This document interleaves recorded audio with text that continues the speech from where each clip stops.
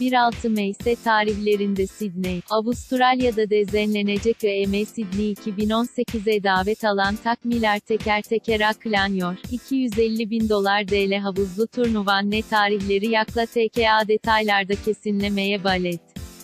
LK olarak şampiyonluk adaylar Faze ve Sokakin Avustralya'da yer alacağı duyurulmuştu. Bundan bir sene sonra ise NC takme olarak ev sahibi Renegadesa Klanimte, turnuvada yer alacak DRDNC takme ise son yapılan akılamayla Mouse Sports oldu.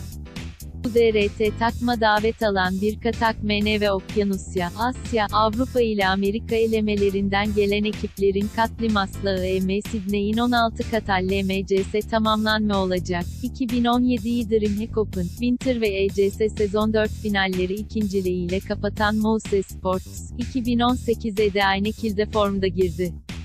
Ubat sonunda Starlat Deri League sezon 4, ampiyon tamamlayan Avrupa Karmas Takme, Y kıselen formuna Meyseba End Avustralya'da devam etmek istiyor olacak.